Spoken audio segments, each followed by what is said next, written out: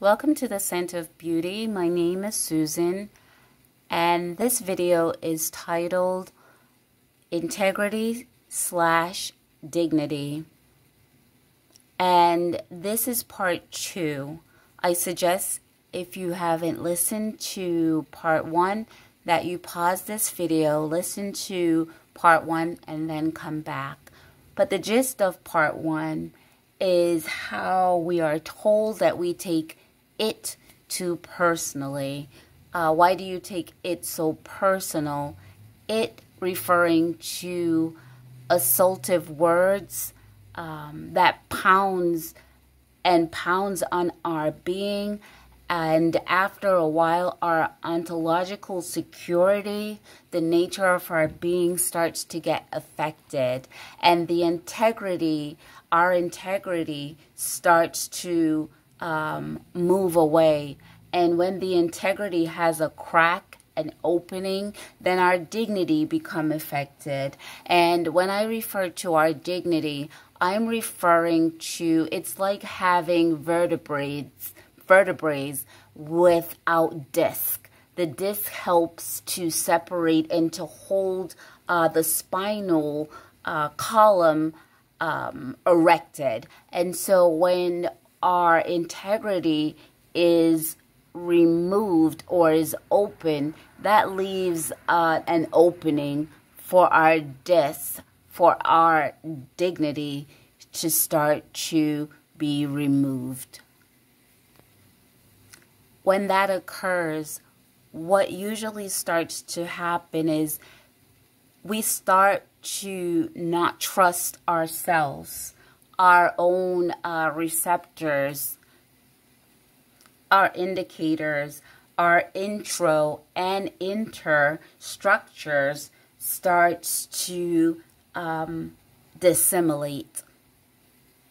We're not able to hold ourselves, our being together because we start to question ourselves by saying and listening to others, you're taking it too personal. We stop trusting the strength of our capacity to reason.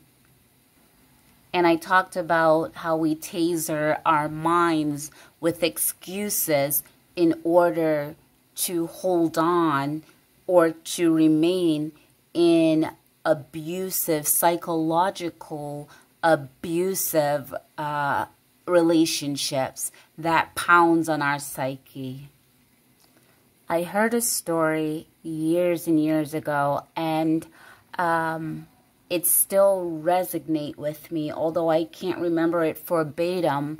But the story went uh, something uh, like this: a rich man that owned hotels uh, decided to um, give his manager that he respects uh, a hotel, but he didn't tell the manager. What he did tell the manager is he bought a lot and he told the manager, this is the allowance that you have, you know, just built built a hotel. And he spared no expense. But the manager decided that he wants to please his boss. And so he built the hotel, but in building the hotel, he got the cheapest material, the most inexpensive material, and he cut corners and he built this lavish hotel that looked, um, it gave the appearance of a five star hotel, but the integrity was compromised. And so when he was finished, uh, his his boss said to him, um, "Congratulations, this hotel is yours. You can live in this hotel." And and I never forgot that story, at least the gist of it, because what he built based on It's not even that he didn't have the funds, but based on the lack of dignity, he built a hotel without integrity and he was going to live in what he built. Absolutely. Um, I believe that we have to take it personal because if I don't take it, the slights, the, you know, the hard hitting uh, words, the psychological abuse, then it affects not only again our integrity, but our dignity gets so compromised, just like this manager, that he decide, even when he didn't have to, to build um, an environment where he didn't even realize it would be ultimately a place that he would have to reside. Any building, uh, if we're building a, a hotel, a house, um, just a building in general, there is to be integrity. A building is known by its integrity, what's inside, the material that it's made of. And the integrity is known based on weathering storms. A building never says, oh, I'm not going to take it personally when a storm is hitting against it. It actually reacts to it. It either stands or it falls. But what we tend to do is we have a choice. We don't have to freeze, but so often we haven't learned how to remove ourselves from things that are beating against us, that is taking away our integrity. And as I said in, in part one, we sometimes join in to remove our not only our integrity, but our dignity starts to fall and to get lower and crumble.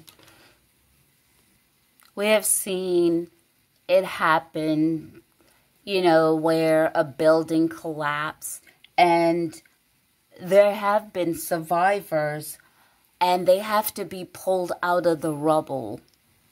And when people get pulled out of the rubble, that's like when the integrity is gone, a place that is deemed unfit for a human uh, a human standard of living when there's no integrity that stands and is erected when the integrity and dignity is gone when the frame collapse if one stays you have to crawl around in the rubble and crawling within ourselves. We might survive the slights and the hits, the hard pounding assault, uh, verbal assault, because words, again, it hurts, it injures, and it harms. So we can survive, but we each have to ask ourselves, but is that living? Survivors um, usually when there's no integrity and when the dignity collapse, just shuffle around in our own lives. And when there's just, when we have gotten into that rubble mode, modality, matrix, that method of, of living and thinking, when that occurs, then what we end up, we end up in a place where we're salvaging the losses, trying to pick out pieces that we could hold on, just trying barely to survive. But when integrity is gone and dignity, that is the best that we are afforded not taking it personal, that's a question. We shanty our minds when that occurs. And you know what that is?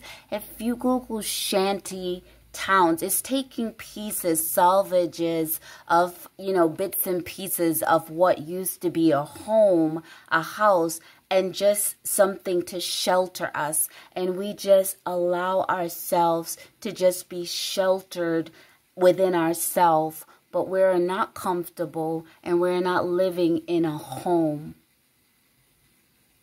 And sometimes we shack, shackle ourselves to people that have lost their integrity and their dignity. And we could physically live in the most expensive home and in the best neighborhood with a shanty mindset because we haven't been taking it personally, personal. Our right superior temporal gyrus that gets so affected. That's what I'm referring to. Those pathways in our brains, those map sites in our brains that we don't even think of when we allow ourselves not to take these, um, when we allow these redefining moments to define and take away our autonomy. So I'm going to stop this video at this point and I just want us to think about the storms when they come in the external world that we live in and the effects of what happens to a home.